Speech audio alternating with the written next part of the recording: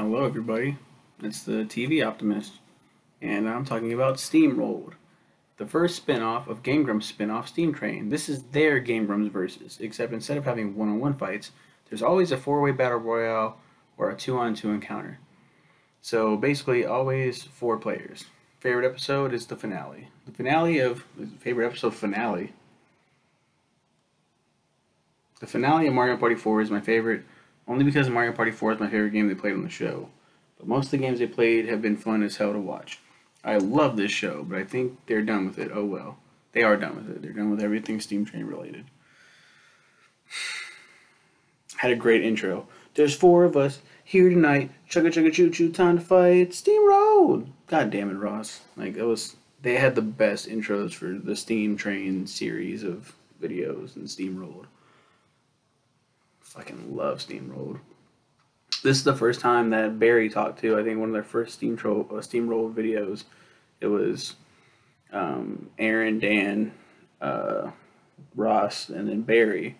And Barry, you know, he was the editor. He was known as like the voiceless person.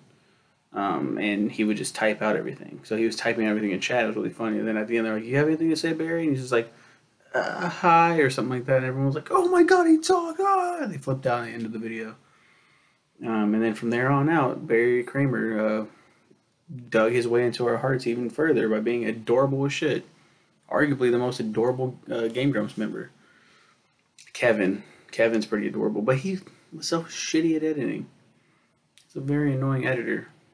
When I did my Game Grumps review, I didn't talk a lot about like the editors and shit, but Barry was was the best.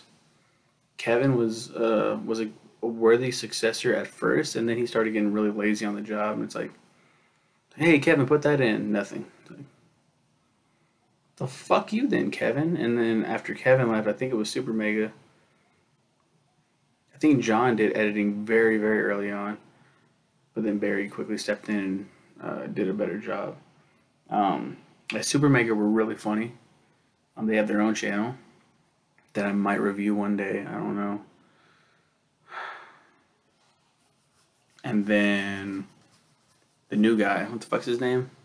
Ben. He's fucking weird in real life, but like his edits have been pretty funny. Um, and on the Power Hour, he was pretty funny. You probably don't know what the fuck I'm talking about. If you've been on the internet at all and you've known Game Grumps, then you know what I'm talking about. But other people that are just like casually strolling along, who's this fucking guy? Who is this fucking guy? They just, you're like, I don't know any of these people that you're talking about. So that's my thoughts on Steamrolled and further other random uh, things that I'm talking about. Um, you guys have a good one. Please drink plenty of uh, coffee water.